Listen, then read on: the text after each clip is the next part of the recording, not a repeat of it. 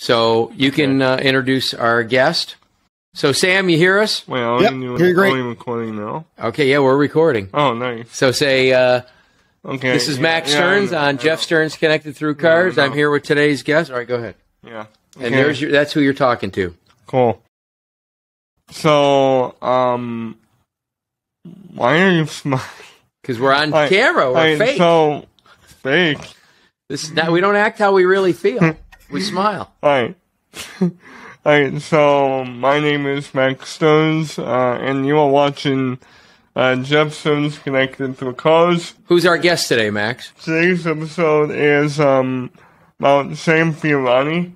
He is um, Vice President of Global Vehicle Forecasting um, and Auto Forecast Solutions. Why don't you ask him the one question that we're curious about? Were you nearly arrested by the feds following 9 11 or not? It seemed pretty close to it. Yes, uh, back in uh, early uh, 2002, we were doing a tour of uh, factories in uh, North in Massachusetts. They were old factories, old car factories, and I was with a, a number of the Society of Automotive Historian board members.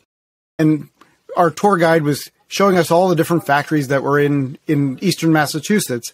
So the first factory we pulled into was an abandoned building. We thought it was a chain link fence. We pulled off the road to take a look at it. Got out of the car, took a couple pictures of it, got back in the car, and we're pulling back out onto the highway when I got a knock on the window, and I look over and there's a military police officer standing there staring at me. And I said, Could you please pull in behind the gate? "Uh, Okay, officer, no problem. So we pull our two vehicles back behind the gate. And, And uh, do you have a hint? Do you have any idea or thought why? No idea. We're, I was, we were just completely shocked. We're, we were two vehicles filled with septuagenarians and me. And, uh, we were all just on this tour and there was just enough room in the chain link fence to pull off the highway to take the pictures. And we were just about to pull back on when he told us to pull back in. We're like, Oh, what's this all about? So we, the officer pulled over. and goes, Why are you taking pictures of our building? We're on a tour of car factories, and we had printouts of all the places we were going to go to. We're going to these places here, and he looks around. There, are all these older gentlemen in the car, and me as the driver. And as he's asking us all our questions, a younger MP comes up next to him, and he goes, "Oh yeah, inside there, there's all this this equipment for the the assembly line and where they pull the cars across. It's still in there from from what was 80 years before at that point." And uh, we all looked at each other like, "Oh, what's going to happen?" And finally, the officer let us go. We were sure he was going to take our cameras, but uh, Wow. they were they were afraid this was a uh, they were we were casing the joint for some attack on a federal building.